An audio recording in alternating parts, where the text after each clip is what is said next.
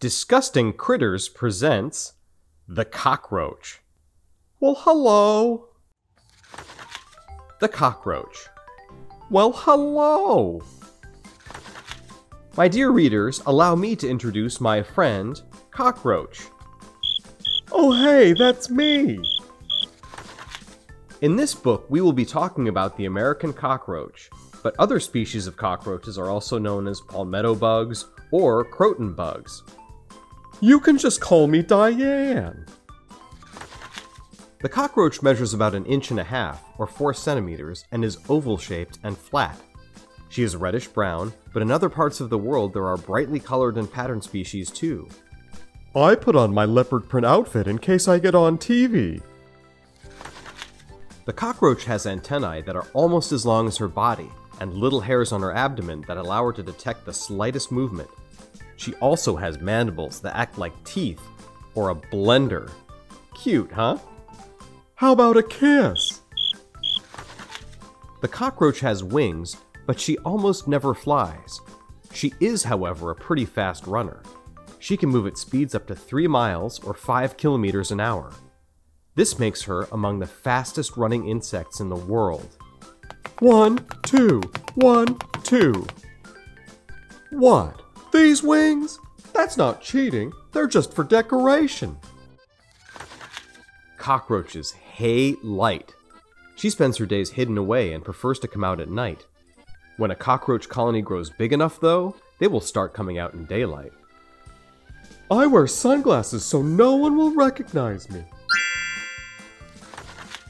The cockroach likes the heat and dislikes the cold.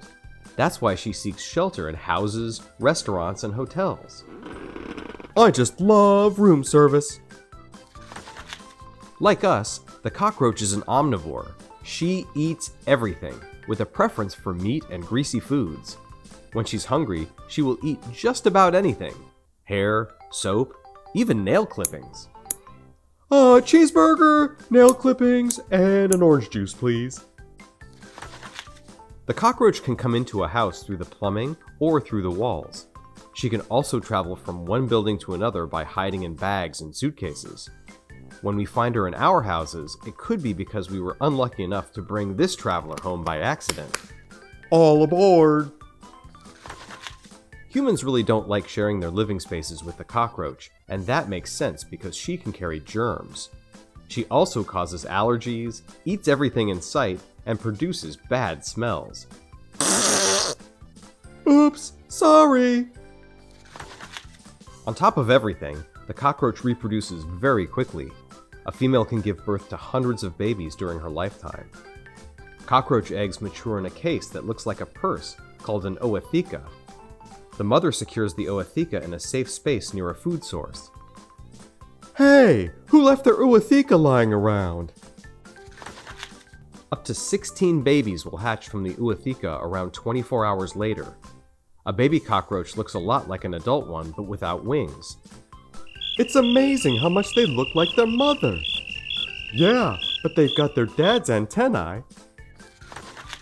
Once the cockroach is well established in a space, it's really hard to get rid of her.